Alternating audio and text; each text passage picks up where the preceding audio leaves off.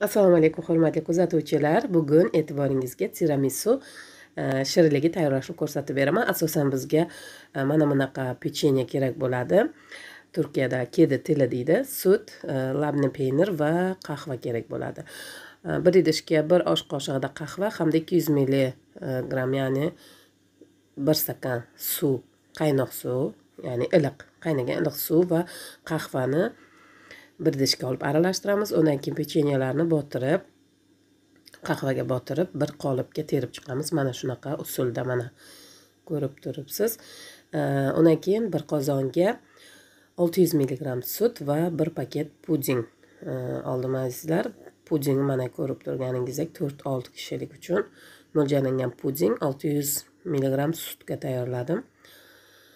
Va endi buni e, gazda o'rta olovda tinimsiz kovlab turib pishiraman. Mana pishib chiqqach ustiga labni peyniri soldim. Ikki yuz gramm labni peynir solib aralashtirdim.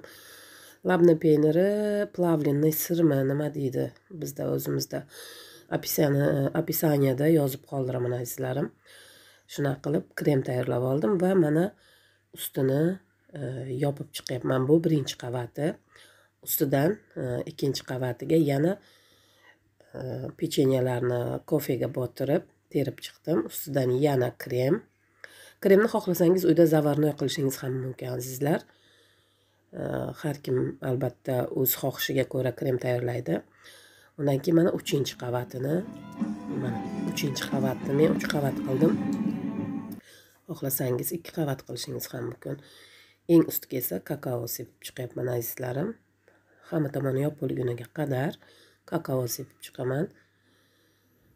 Mana ko'rib turibsiz va qopqog'ini yopib xohlasangiz strech qilishingiz mumkin. Mening e, idishim qopqoqlik edi o'shaning uchun qopqog'ini yopdim va bir soatga xolodilnikka qo'ydim azizlar bir soatdan ko'p ham qo'yishingiz mumkin. Bir kecha qolsa undan ham yaxshi. Men bir soat qo'ydim. Mana kesib e, dasturxonga tortib ketdim azizlarim mana shunaqa bo'ldi. Ko'rinishi mana oralari juda ham yumshoq va juda ham ajoyib bo'lib tayyor bo'ldi. O'n besh daqiqaga tayyor bo'ldi azizlar juda ham oson tayyorlanishi. E, mana hozir ko'rsataman yumshoqligi qay darajada bo'lganini. Mana shunaqa qilib tiramisu shirinligini tayyorlab oldik azizlar e'tiboringiz uchun rahmat. Salom.